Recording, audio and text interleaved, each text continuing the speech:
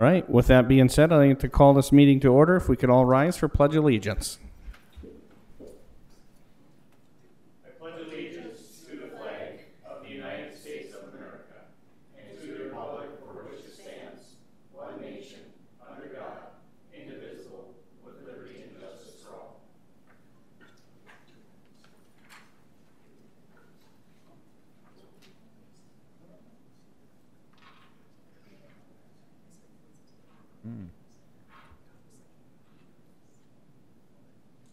Um, all council members are present, minus Councilman Collison. He is ill and did notify myself. Uh, do I have a motion to adopt the agenda? Motion to adopt. Second. I have a motion to adopt the agenda by Councilman Lundeen and a second, second by Councilman Burgley. All in favor, say aye. Aye. All opposed, same sign. Motion carries 4-0. Uh, approving the city council minutes for September third, twenty nineteen. Motion to approve. Motion to approve by Councilman Burgley. Second it. Second by Councilman Gordon. All in favor, say aye. Aye. All opposed, same sign. Motion carries 4-0. Announcements. Park Recreation and Culture Board meeting Tuesday, September twenty-fourth at six PM. City Council meeting Tuesday, October first at seven PM with an EDA meeting uh, immediate, immediately following the council meeting Tuesday, October first as well. We didn't have any council committee reports. I understand, correct, Ms. Wood? All right, moving on to the business items. Toward zero deaths, presentation from Isanti County Public Health, Sarah Model. Did I say that right? Sweet. Glad I checked with Katie before this. Congratulations. Thank you. I wasn't there the last time I saw you. Oh, yes, it was. yeah. Oh. All right. Well, good evening. Um, and I just want to um, say thank you to the City Council first and foremost for your support and participation in the Tor- Isanti County Towards Zero Death Coalition. Uh, the um, I've just a just kind of want to give a background to the council on what Minnesota Towards Zero Death is, what we're doing as a region, and then more specifically what we've been doing here locally as well. Um, I know there's some newer people on the council, and so this may be one of the first times that you've heard about Towards Zero Deaths, but we have been in the county for almost 15 years now. And so um, the Minnesota Towards Zero Death is basically um, a goal to have in our state zero traffic related fatalities in a year.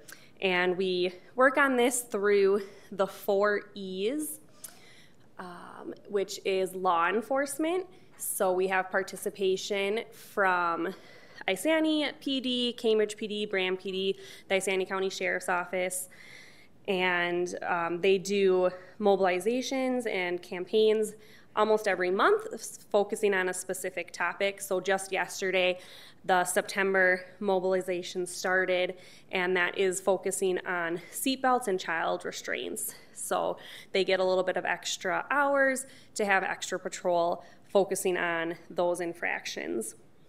Um, the second E, engineering, road, so that'd be road design, traffic control, signs, lights, road assessments, uh, things along those lines. And then emergency medical services, so making sure that we have quick and advanced life-saving technology that is able to get to these incidences quickly so everyone in our county has um, a chance um, if there is an incident. And then education, which is where public health comes in a little bit more, um, the education and promotion of positive behaviors such as wearing seatbelts, distracted, not driving distracted, um, using proper child passenger safety restraints, not driving impaired, information on new laws and guidelines such as the new hands-free law that just passed in August. And uh, let's see, on the back, of this one. Um, Minnesota started their Towards Zero Death program in 2003. So the line separating the blue and the orange, um, you can and you can see that there's been a significant decline in traffic fatalities since 2003 when Minnesota started their Towards Zero Death program.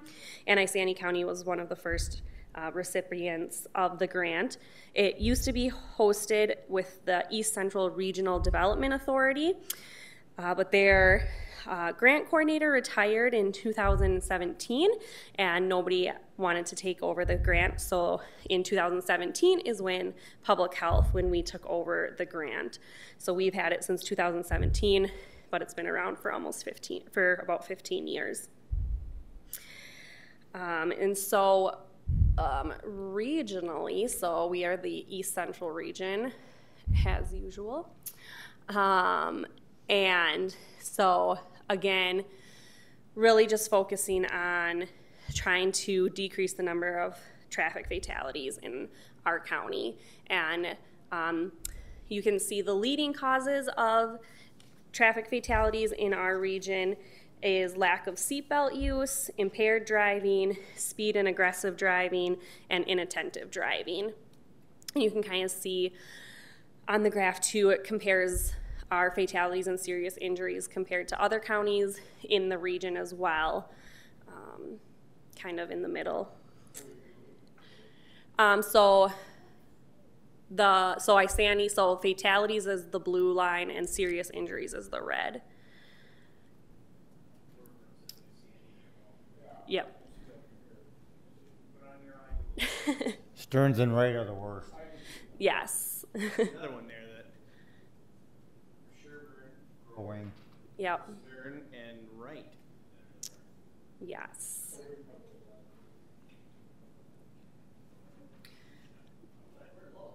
Yep. That is it's no. Can- Kanabec. Yes, yeah. So last night I was at the Cambridge City Council meeting talking about TZD as well. Um, and that was brought up was why is Kanabec so much lower than us? And I don't know the answers to exactly why, but my guess would be their population density is not going to be the same as ours with our Cambridge and Isanti kind of population density. And then we also have a lot more commuters that drive longer distances every single day versus Maybe we're just a little County. more popular, Sarah. that too. Um,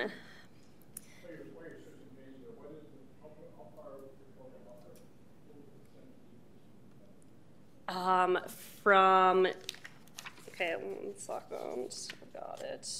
White average was ninety-two point four percent. Um, there's been a 42% reduction in the number of traffic deaths since 2003. How many percent? 42%.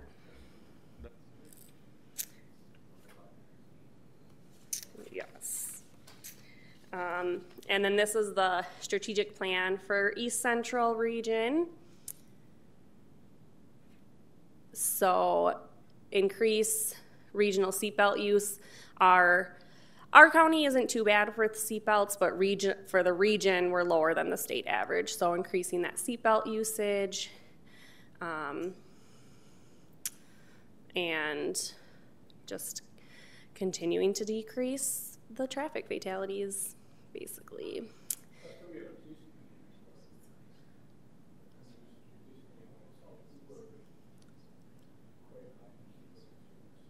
Yeah, our county's pretty good overall. I'm sure the police chief will.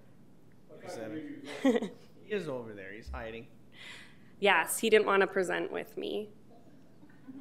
Because we make him present So. enough, Sarah, that's why. He's a wise observer. Yes.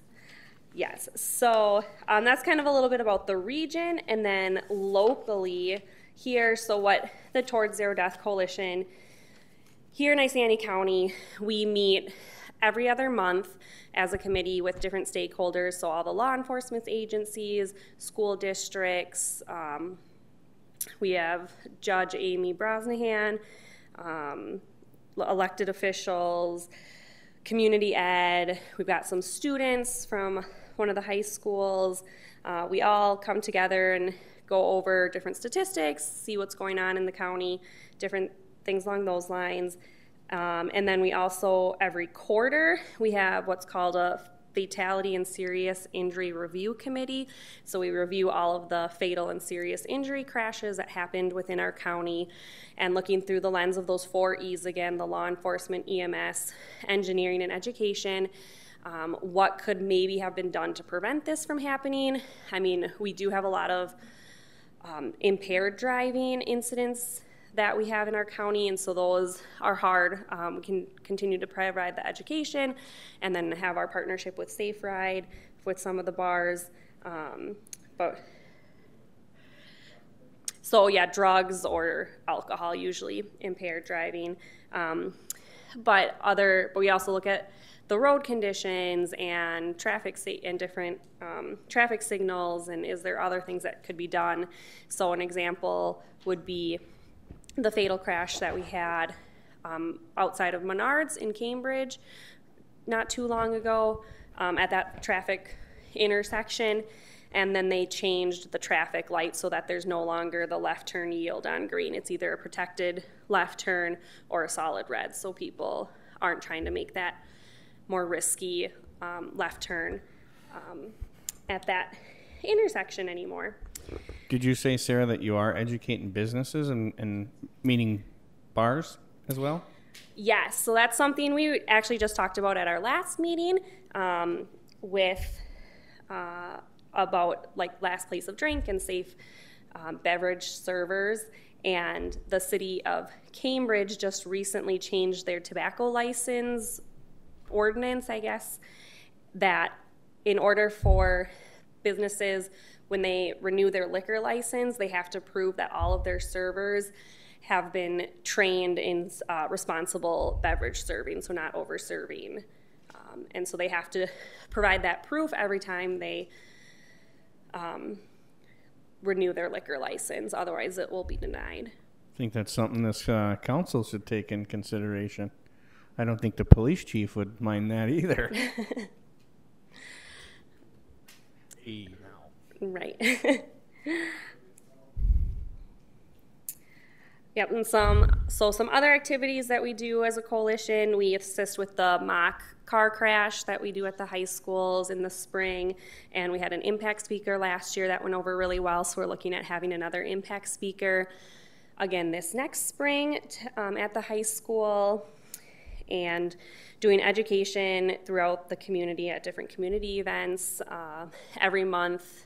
Chief Baumgard from Braham is on KBEK radio talking about some sort of traffic safety topic, usually around whatever the enforcement mobilization is for that month.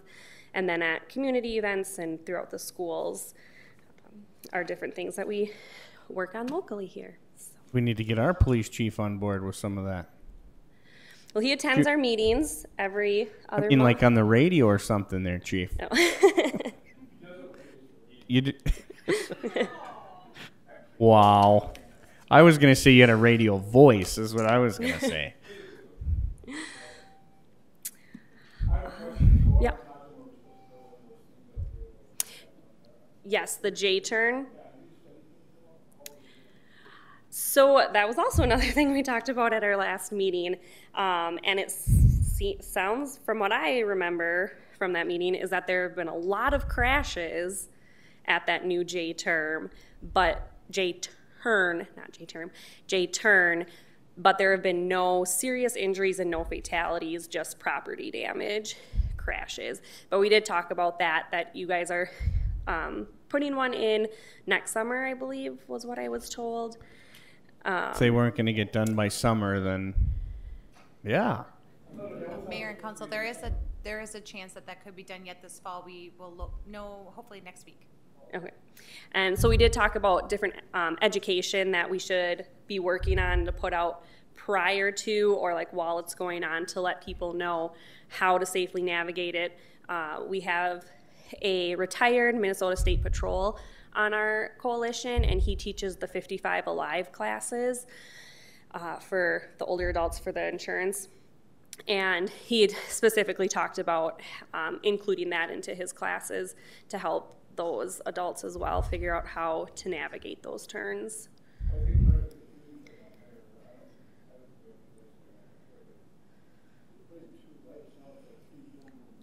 Right. Viking. Viking Boulevard. Yes, yep. Well, Councilman Burgley, that's why that's Anoka County and we're Isanti County. Yeah. Yes, yep. So that's what I had been told, uh, was that there have been a lot of crashes, but no serious injuries, no fatalities, just property damage. Yes, and then we also did talk about the new intersection in Braham as well, and that has not had any um, traffic accidents since that has been fully completed as well, so, yep. Yeah, I would agree.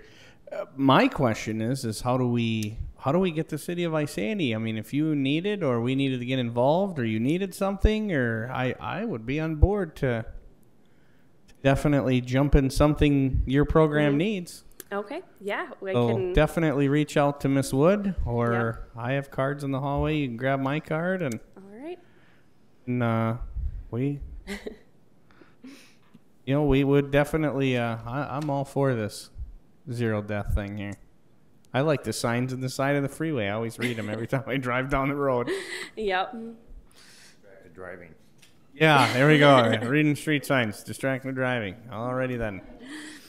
All right. Any other questions? Any questions by the council? Yeah, I know what you're doing. No questions? Thank you, All right, Sarah. thanks. Sarah?